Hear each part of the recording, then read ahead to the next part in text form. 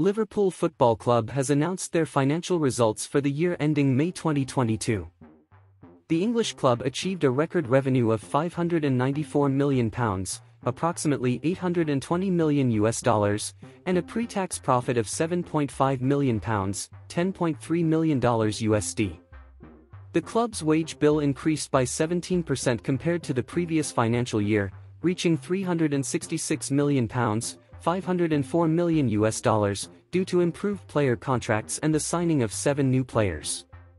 Main text Liverpool Football Club has reported a record revenue of £594 million in the latest financial year, marking a 22% increase from the previous year. The club's pre-tax profit was £7.5 million, which represents a solid financial performance for the club.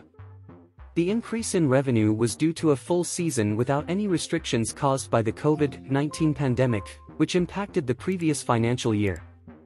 During the season, Liverpool improved the contracts of several key players, including goalkeeper Alisson, left-back Robertson, midfielder Henderson, and striker Diogo Jota.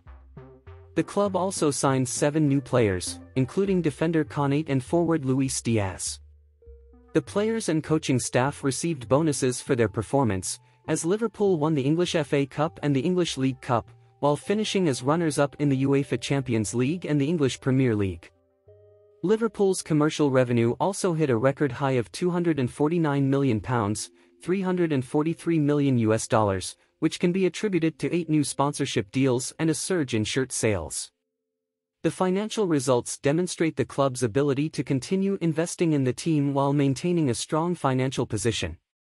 In addition to the financial results, Liverpool striker Diogo Jota reflected on his return to the Premier League after recovering from a calf injury.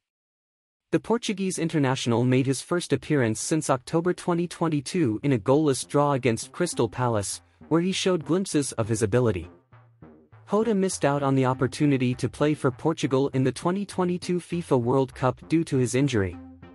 He acknowledged that he felt strange during the game, but he was pleased with his performance and is focused on regaining his confidence to help the team with goals and assists. However, Liverpool's injury woes continue, as Luis Diaz suffered a knee injury in the defeat to Arsenal, adding to the growing list of players sidelined by injuries. Despite this, Jota remains determined to finish the season strongly and help Liverpool's push for a top four finish. Conclusion Liverpool Football Club's financial results for the year ending May 2022 demonstrate the club's ability to continue investing in the team while maintaining a strong financial position. The record revenue and profit will provide a solid foundation for the club to compete at the highest level. Please like and subscribe for more updates on Liverpool FC.